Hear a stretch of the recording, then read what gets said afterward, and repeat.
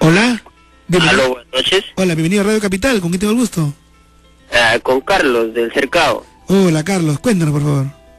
Eh, mire, para contarle una experiencia, señor Anthony. Sí. Este, bueno, en realidad es de mi padre.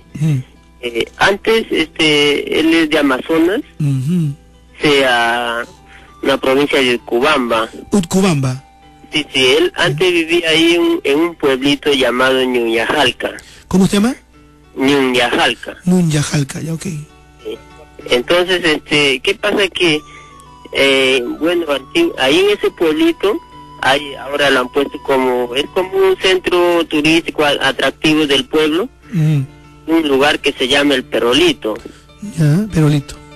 Ya, entonces, y antiguamente, bueno, mi padre dice que él tendría, pues, dice unos 18 años, y esa parte de ese Perolito eh, era este todo montaña este todo el pueblo casi era montaña no había casas había una o dos casitas nada más. Y era camino de herradura por ahí para ir dice a otros pueblos. Entonces qué pasa que dice que cuando pasaban por ahí el camino pasaba por el filo de ese por- porque es como un río bien grande y profundo. Dice que había como bajar así hacia la parte de adentro en la parte de adentro dice que ahí siempre se aparecía una virgen. Una virgen. Sí, hay una, una virgen, Ya. pero dice que su resplandor era este así como si fuera como un, un foco así chap- bien bien bien una luz bien clarita que resplandecía no y siempre que pasaba por ahí siempre lo veía eso. Entonces, este, en, en otras oportunidades, cuando dice que iban así entre cinco o seis, eh, y dice que una vez intentaron pues bajar abajo Ujú. y sacarlo, ¿no? Y ver qué era en realidad. Claro.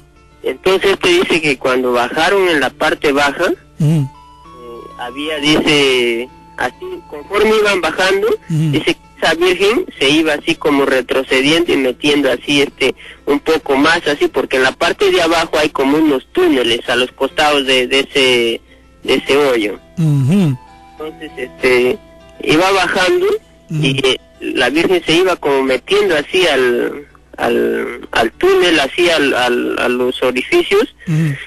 Y entonces, pero dice que cuando ya llegaban así a su lado, dice que eh, la Virgen bajó su resplandor y se quedó ahí. Ah, no te creo. Y entonces que quería, ellos querían cogerlo, ¿no? Y, Claro. y moverlo, porque eran eran como seis, dice. Querían seis. agarrar a la virgen. Querían cogerlo, pues, ¿no? Ya. Porque eh, querían sacarlo de ahí. Ya. Y entonces, este, lo que pasaba dice que se fueron a cogerlo y Mm. dice que eh, algunos de sus compañeros, este, no, como que se quedaron así estáticos, Inmóviles. inmóviles y ¿Qué no pasó? podían moverse. ¿Y qué pasó? Al final. No podían moverse, dice que al final se dieron cuenta que ya era de madrugada, que ellos habían entrado este como a las 11 de la noche ya era y cuando se dieron cuenta dice para salir ya porque no podían nada se habían quedado ahí Sí. como el tiempo paralizado y era ya dice como las 5 de la mañana Qué raro. Ok. y, Y no Sí. pudieron. Y ya salieron de ahí. sí sí lograron salir de ahí dice pero ya después salieron así como como quien dice no dice un, un poco desorientados y todo eso. Ya, no no pudieron dice sacarle de ahí ni nada ni, ni tocarlo Y, ¿no? y- y dime una cosa, Carlos, si uno fuera a esa zona en Utcubamba, en Nun- Nunyajalca, ¿uno pudiera ir y pudiera encontrarse con el mismo fenómeno o fue algo que ya pasó hace muchos años y todo eso? No, este, ya pasó, ya es que ahora ya el pueblo se ha desarrollado, ha crecido. Claro, Mm. ahí el, el orificio, está todo ahí. Claro. Eh, en la parte de abajo tiene unos túneles. Mm. Eh, bueno, yo eh, he logrado entrar en, en uno de esos túneles y en la boca del túnel Sí, tiene como unas, eh, unas inscripciones. sí. Tiene así una, hay una cara dibujada, pareciera como si fuera de un inca. Hay petroglifos de repente ahí. Sí, sí, Ah, sí, claro, sí, sí, claro. esa- de así en una boca de, de un túnel, ¿no? Claro, bueno, sí, petroglifos de repente puede haber ahí, estas apariciones que uno confunde con la Virgen o podría ser de cualquier otra entidad, esto del fenómeno del tiempo paralizado, el llamado el efecto Oz en ufología, qué extraño. Gracias Carlos por compartir con nosotros esta historia.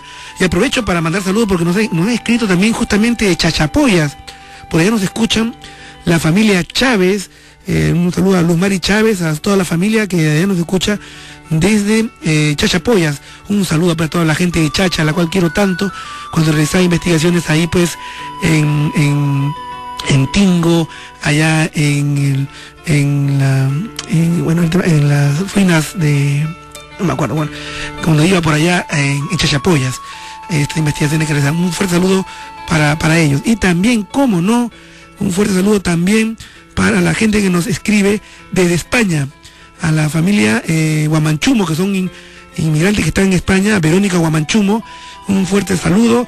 Sé que nos escuchan a través de la página web de, de, de, de Radio Capital.